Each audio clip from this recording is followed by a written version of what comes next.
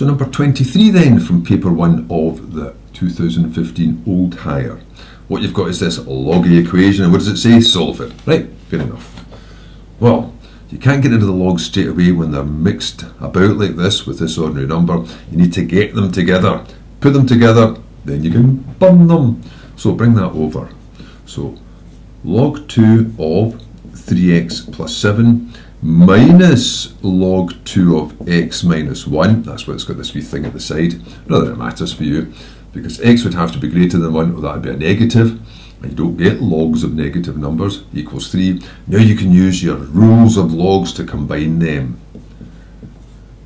If you've got one log minus the other log, the result will be the log of the division of these two, the quotient. So 3x plus 7 over x minus 1.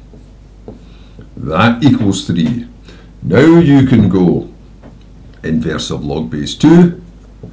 Let's just leave this behind. Will be 2 to the power. I'll just pop that in. That's an 8.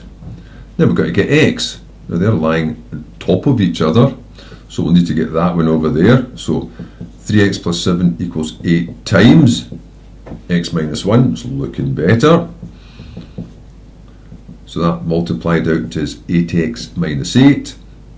Better off this way around. Take the 3x over but read it backwards. Makes that a 5x when you subtract it. Bringing that over to that makes it a plus 8, makes it a 15. So here we go. x equals 3.